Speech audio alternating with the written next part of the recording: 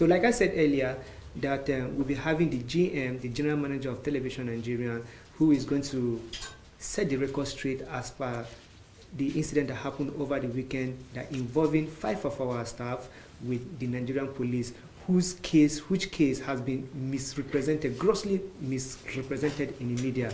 And I have with me here this morning Mr. Charles Ibe, the General Manager of TVN. Good morning, sir.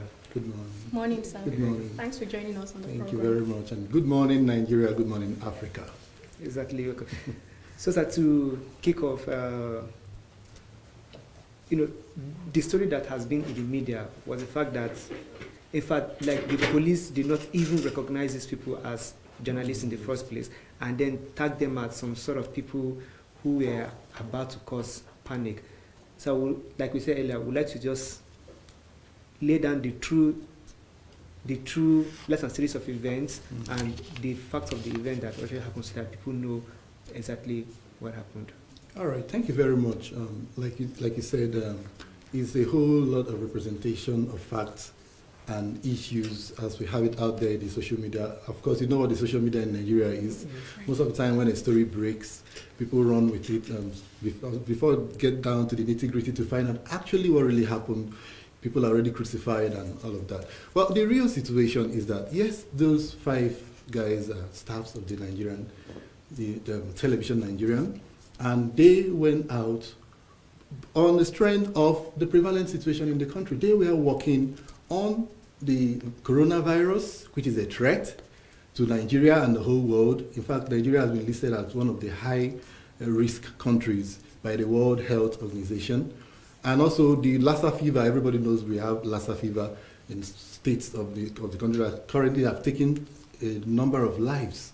So they were out doing a couple of, um, it, it was actually a project actually. They are supposed to basically sensitize, working on projects that will, when it comes out, will sensitize the public more about coronavirus and also about Lassa fever. They have done Vox Pop, they've done special special reports, spot interviews, and they were that same Friday they were on the streets. They were in in, in um, they were in AYA, they were in Wuse 2, they were in some popular, um, asking people how much how much are you aware of this? How do you what do you know about Lassa fever? What do you know about coronavirus? You know, people need to know. And then in line with what they, they, they with an online TV, and we have a web series that we're working on that's also going to be part of our uh, way of sensitizing people more prevalent situations in the country. So, you know, like in communication, you use various means to entertain your people and as well educate your people. And if you're a keen follower of the social media, you find out and you correctly, and you believe with me that, especially for the young generation, there is a, it's a particular way of which if you package, package your information will drive home the, the, The the, the message. message and the content. So, short plays, skits, dram- small dramas, and pranks, and all of that, all centered around the subject matter. So, that was exactly what they were working on that same very Friday. They went to the hospital um, ostensibly to do what they as part of the project. It wasn't even they just went there. It's part of it to get materials that will back up what they will have to do. And then they decided, okay, let's dramatize this. Let's do in sort of in sort of a, a short kit, skit, a kind of a prank that at the end of it, the message will be given out. Now, from what we got from from what we got from them, because they are our people, we are talking from. there. They met the security at the at the hospital, told them this is what we want to do. They were granted access, not into the inside the main hospital wards and all Yeah. of that. That's the premises of the hospital, for them to do obviously what was supposed to be a very short um, enactment of okay, this is the situation and how to handle the situation. So you know, this is a public place. Actually, some of these things get misunderstood and gets misrepresented.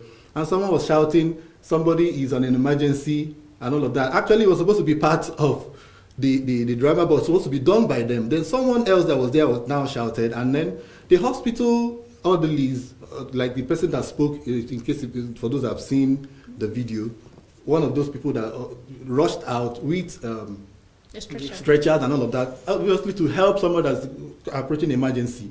But they were not even, that was not their direction. So as they now got to that place, the, the nurses, you know, seeing the attention the nurses were giving, oh, sorry, it is a prank. It is not actually a, a real situation. Mm. You understand? Of course, of course, of course. You, you know how human beings react when you, you when you are in that kind of situation. You understand? It was actually wrong of them not to have gone to the hospital management to let them know something like this was going to go on. But you know, you know, sometimes when you're on the job, there are a, couple of things you do that sometimes we make mistakes. We are all humans. Right. You understand? And they did explain. Sorry, it was not supposed to be long. It was not supposed to cause any distraction. We are journalists. This is what we are doing. They explain, but then you know, the unfortunately the, hos- the hospital is just closed door neighbor to the police station, and they just like, okay, we have a situation here, and the police now came in, and these people were um, taken over to the police station, and that's from that point that the whole story started to change. You understand? Now, one very key issue is this: um, when you watch the what is on the social media and all of that, they, they, they said they had coronavirus. They were trying to scare people that they had coronavirus. That was not true. At no point did they mention coronavirus to the hospital. They never mentioned coronavirus to the nurses. In fact, if you watch the clip, the nurse that uh, addressed the media did not say they, were, they told me I have coronavirus. He just said the young man with a foam on his mouth coming Right, out. right. And when she approached, he wiped it off and tell her, sorry, it's a prank. I mean, so at what point did they were pretending to be to be To- to be have infected by infected by virus. virus and all of that? This was an explanation that they gave to the police that sorry, this is what we are trying to do. We are trying to create, do um, pro, um, uh, produce a sensitization material for the public. Right. You understand? So at that point, the police, I don't know, Nigerian police is Nigerian police, and they are actually doing a great job. But most of the times, we sometimes step overboard in the way we handle things, and that's why we're in this situation right now. I believe strongly that it would have been handled a lot more better than it was. I mean, parading journalists, and, and the, the, the annoying aspect of it was they were not even identified as journalists. Right. Yes. They said Abuja residents, which was not true. They had a platform. and then they called them had ID. pranksters Yes, they had their ID. And even in that video, they mentioned it. They asked, the journalist asked them, what platform? And they said the Nigerian. And why did the journalist that even reported that story, why did they have to cut that part out? Right. You, You see, know, uh, these are some of these things that, you know, it happens and we begin to wonder. So, um, going by the whole video and the report that actually came out from that incident, the police said that they are still investigating, they are going to investigate. Have the police reached out to you to maybe ask questions, less and less regarding the incident or any other person in the company as regards to that situation? It's a very key question. This happened on Friday. Friday, I think between 4, 3 and 5 p.m., I think around that time. Immediately we had that, we got the alert that they are at the police station. We rushed down to the police station. We met the officers, the IPO, even the DPO. At the desk, we told, okay, they said, this is what happened, this is what happened. Okay, we apologized. All right. They directed us to go to the hospital. The police said, okay, the hospital alerted us, I will have to do our job. So you go and meet the hospital management and tell them, so let's resolve this. And we went to the hospital, um, the, the, the chairman or whatever in the hospital wasn't on seat, but the lady that was on seat there placed a call to her, because I understand it was a, is a lady that heads that place. And she referred that we should go back to the police, that they have handed the case over to the police. So the police, whatever we decide, the police, uh, you understand? So when we got back to the police station, it, was, it now became a different issue altogether. That why did we have to go to the hospital? All of that. I mean, we, had, we went there ostensibly to explain ourselves, and especially to apologize. right. That lady, especially that spoke on, on camera, we have assisted, okay, you were the one involved. Please, we are sorry. We are very, very sorry. We were wrong not to have informed your management and all of that. It was not it wasn't intended to cause any mishap. It wasn't intended to raise any unnecessary panic. We I explained and they were okay that let's just go back to the police station and settle it. But then the police had a, a different case altogether. And then you are supposed to investigate and then before you take part take any kind of action. Now the curious thing is between that Friday and Saturday when the, they were paraded, what investigations had the police uncovered? As That's in, exactly what what I what intent? As in, mm-hmm. what did they uncover that actually these people were out to, to disrupt? I was going to get there, and then they had to parade them And they had to parade like, them as if they as were common, common criminals. without any investigation and you carried out named so them far. pranksters. You didn't even acknowledge the fact that they were journalists. And I don't know, actually, I don't know why journal, the, the, the people that reported this had to report it the way. I don't know whether they were made to do that, but I don't think it was actually wrong because the, the, we monitored the interview even when they were granting that interview. We heard what was said. Even the, the, the guy that, uh, that explained the actual part they did. The, the, funny enough, it was not like the only part that they said we were wrong, we are wrong, coronavirus. Actually, they did not mention coronavirus in that hospital. It was just somebody on wheelchair. Okay, does it mean anybody on wheelchair that's swimming now has coronavirus? That's the story that the media now put out. Of course, they were working on sensitization, but they never mentioned to any nurse or any doctor that I'm having coronavirus, which is now being said they claim to have virus, that they want to create a false alarm in the FCT, which is very, very, very wrong. So it's, it's, it's always good to let's put the, the record straight. We're not claiming, we're not saying, I mean, for all intents, you're supposed to take appropriate authority um, eh, permission from the appropriate authority before you eh, embark on anything. But in that case, when a mistake when an error has been done, it, it, does it have to escalate to that level with Okay, explanations and So, every other thing I've done? quickly, do you think, from your own point of view, do you think this is an attempt on the part of the Nigerian police to, let's say, is it gag the media or do not really allow the people out there to know the truth as regards to what really happened? And then we're still battling Lassa fever in Yes. Nigeria. Of course, it's actually necessary for us to create awareness and, and all of that. I feel if the Nigerian police have actually taken their time out, I'm still I'm still going to come back to the question, but I'm just speaking from my own Yeah. perspective. If the Nigerian police have actually taken out the time to um, know that okay, this whole Lassa fever thing and coronavirus, as much as um, we don't want to raise panic in the polity, but it is necessary that there People is should- enough uh, awareness, and Awareness. enough awareness should be created so people are aware of it. And then if a particular media organization or people from the media, journalists come out to carry out sensitization, I feel on the part of the police, they are supposed to actually investigate the whole issue before parading them as common criminals. This okay, which platform are they operating under? How long has this platform been? On what ground? What what has this What have platform they been done doing? so far? So Exactly. uh, my question to you now is: Do you think the police is uh, is not doing their job in the right direction? Well, uh, the police is a great institution. Uh, I respect the police, constituted authorities, and all of that. They have the, their way of doing their own thing. I don't know. I'm not going to teach them their job. But I'm going by the premise that what we are meant to believe that is the police is your friend. This Right. police is supposed to be out there to protect you, Right. out there to get to guard you. You understand? So that is why, on our own part, we are hugely surprised at the turn of the event, how the whole thing went down. You know, the the, uh, the, the, the, fact, the underlying issue is this: we have already explained, and even the lady from the minister's office, the media aid, she a, even mentioned it. Even it's even on on radio that Nigeria is one of the critical uh, point, as in one of has been listed as a high risk for this special coronavirus. You understand? So we have a, do we have a situation in, at hand? We have a situation. We don't have to wait until lives are lost before we really know. Yes, this is what we have to do.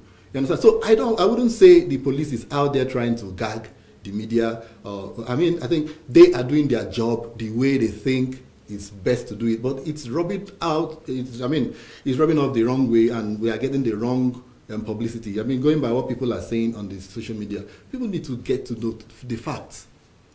Everybody makes mistakes, even in professions. Doctors make mistakes, lawyers do make mistakes. And I, I think, mean, I think people are too quick to jump into a particular story without actually hearing from both sides. Like I actually know about, I hear that um, there are three sides to the story. The two sides of the or, oppo- or, of the opposing uh, Yeah.